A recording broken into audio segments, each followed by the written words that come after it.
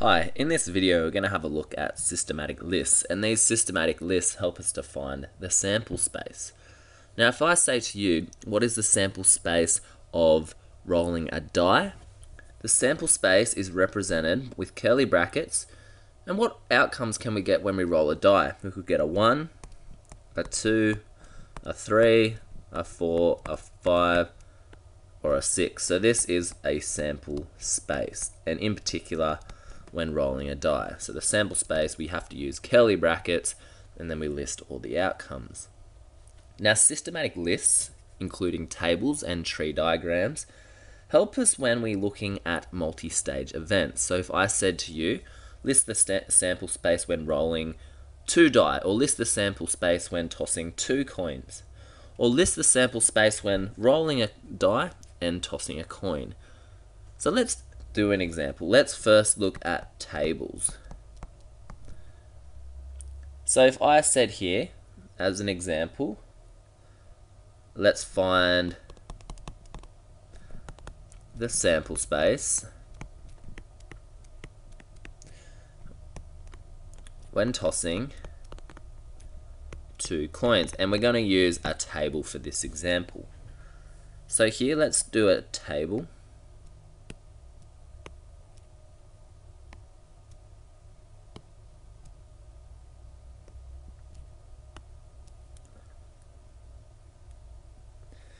Now, the first coin could either be a head or it could be a tail. The second coin could be a head or a tail. Nothing needs to go in this little box here. So the first coin on the top row could be a head or a tail. Then down the side it could also be a head or a tail. So here I might even do this. I'm going to write the top one. So this is the first coin. It could be a head. It could be a tail. So when you toss two coins, you here would get the, a head and a head. Here you'd get a head and a tail. Down here you'd get a tail and a head over here to get a tail and a tail. So there are four, okay, what we say elements in our sample space. Up here, there's one, two, three, four, five, six elements in our sample space. So in this case, the sample space for tossing two coins, curly brackets, two heads, head, tail, tail, head, or tail, tail. And it makes sense. If you Think about tossing a coin. Both of them might be heads. One might be a head, one might be a tail. The other one might be a tail, the other one might be a head, or they might both be tails. So this is one way of using a table. Let's do another quick example of using a table. So let's say two dice are rolled. And their sum is recorded. So for example, if you roll a 1 and a 2, you add that up and you get 1 plus 2 equals 3. Let's use a table to show this. So the first dice here could be, you could get a 1, a 2, a 3, 4, 5, or a 6. The second die, you could also get a 1, a 2, a 3, a 4, a 5, or a 6. And this here is all about the sum. So up here, I'm going to put a plus because we are adding. Okay, it is adding, addition. Fix that up, it's plus. So now we think about this. We think about what is 1 plus 1? 1 plus 1 is 2. What is 2 plus 1? Get rid of that. 2 plus 1 is 3. And so on. 3 plus 1 is 4, 5, 6, and 7. You can see the pattern. Let's go to the next row. We have got, I'll just get rid of the highlight. 1 plus 2 equals 3. 2 plus 2 is 4. 5, 6, 7, 8. 3 and 1 is 4. 3 and 2 is 5, 6, 7, 8, 9. You see the pattern there. 4 and 1 is 5. 4 and 2 is 6. 7, 8, 9, 10. 6, 7, 8, 9, 10, 11. 6 and 1 is 7, 8, 9, 10, 11, 12. So you can actually see here that the same number runs the diagonal. All the 7s have a diagonal, all, all the 3s diagonal there, 4's diagonal, and so on.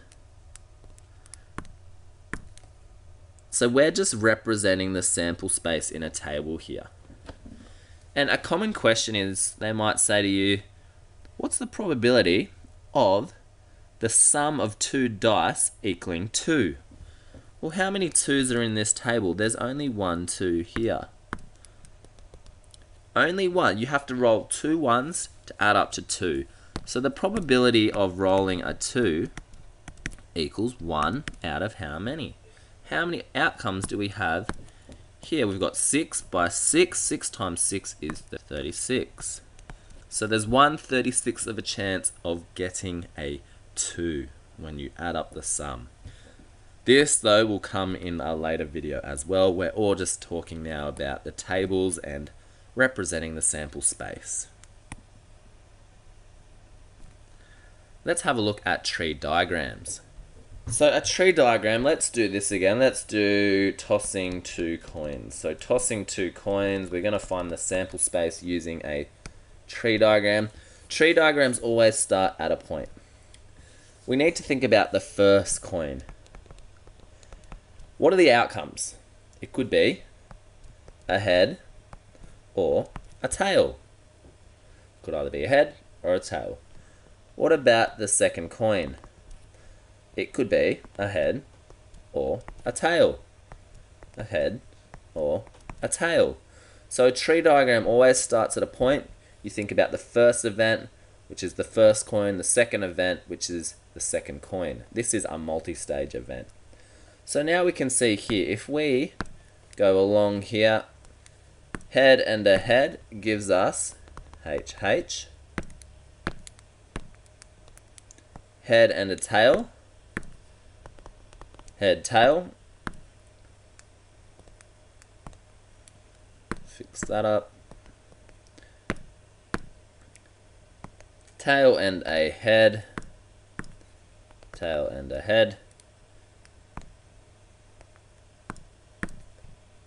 And also we've got tail, tail. So again, from here, the sample space is still going to be HH, don't forget those curly brackets, heads, tails, tails, heads, and tails, tails which is the same as what we got up here. So here we can see that we can use tables or tree diagrams to find the sample space of a multi-stage event. Let's have a look at another example. So let's say a coin is tossed and a die is rolled. Part A, let's construct a tree diagram to represent this. Construct a tree diagram. Part B, we are going to list the sample space. List the sample space. So, remember, a tree diagram always starts at a point.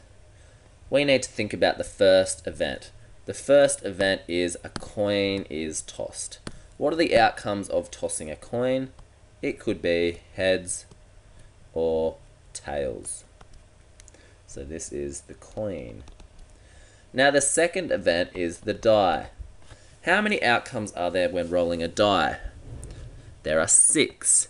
So here I need one, two, three, four, five, six branches. One, two, three, four, five, six. Try and make it big and space it out as much as you can. I'm even going to fix this up. This is the die. There's the one. Again, one, two, three, four, five, and six. So, think about it. If you toss a coin, the coin might land on head and it might land on two. So you might get a head and a two. So H and two. You might get a head and a one, head and three, head and four, head and five, head and six. Or you might get a tail and one, tail and two, tail and three, tail and roller four, tail and roll a five, and tail and roll a six. So here, what I've done here is also a sample space. So sample space, we're going to list it out though in our curly brackets.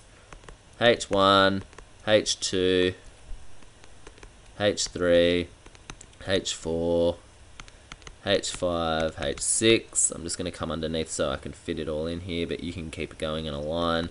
T1, T2, T3, T4, T5, and T6. If I asked you how many elements are in the sample space, you would say there are 1, 2, 3, 4, 5, 6, 7, 8, 9, 10, 11, 12 elements in the sample space. So when finding the sample space, make sure you use brackets. We can use tree diagrams or tables to find the sample space. That's it for this video. Well done.